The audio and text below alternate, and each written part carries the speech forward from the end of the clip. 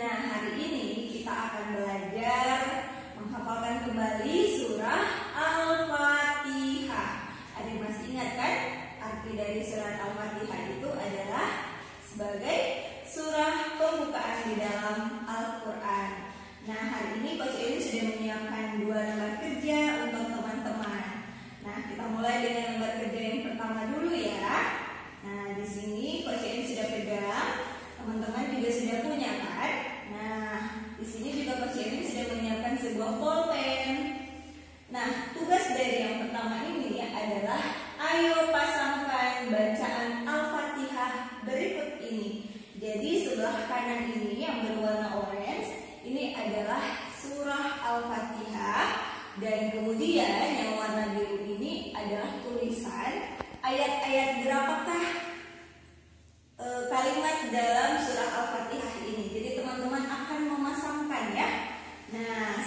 masuk pada lembar kerja ini, kita hafalkan dulu terlebih e, kita hafalkan terlebih dahulu untuk surah Al-Fatihahnya ya. Bismillahirrahmanirrahim.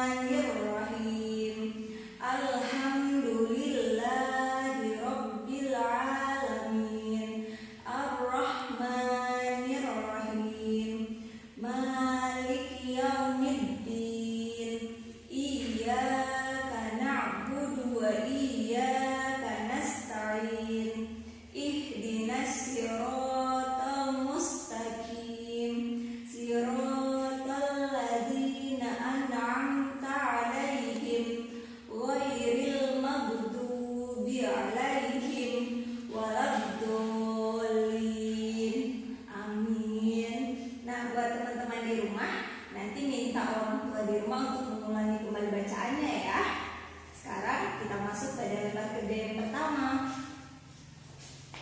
Coba teman-teman ingat bacaan Al-Fatihah untuk surah pertama itu apa ya bunyinya?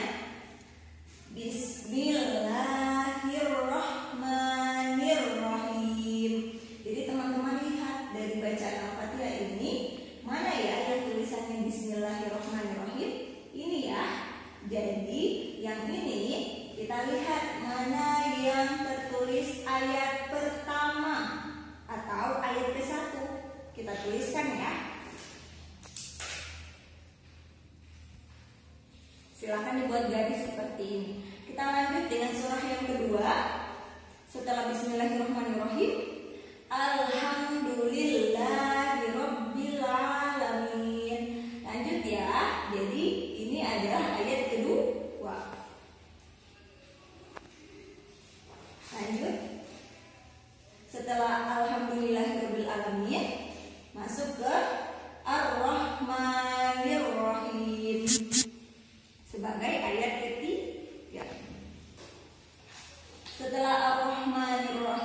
kita masuk ke Maliki Yaumiddin.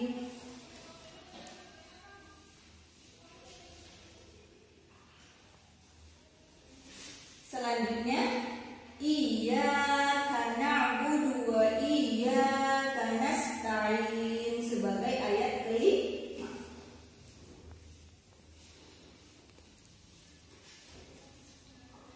Ihdinas siratal mustaqim. Sebagai ayat ke-6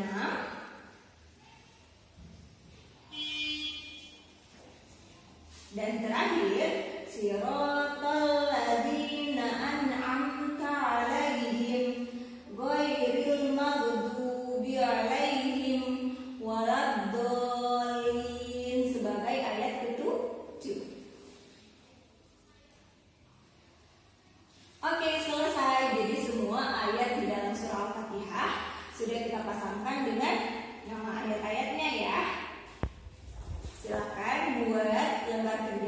bersama dengan orang tua di rumah.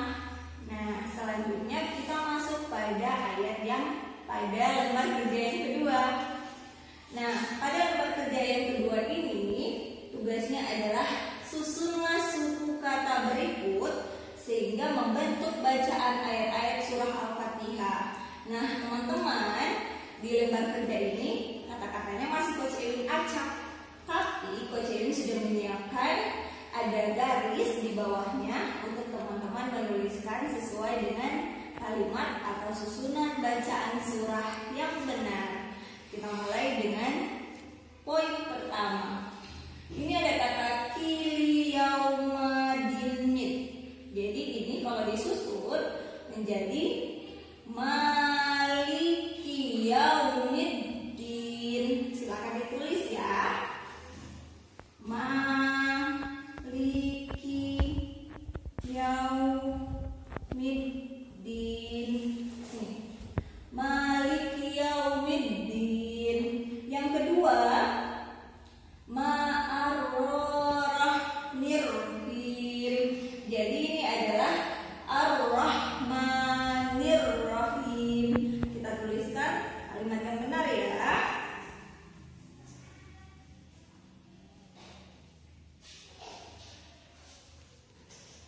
Lanjut Ayat yang ketiga, disinas ihrah mustal kita Ini eh, susunannya adalah ihdinas sirot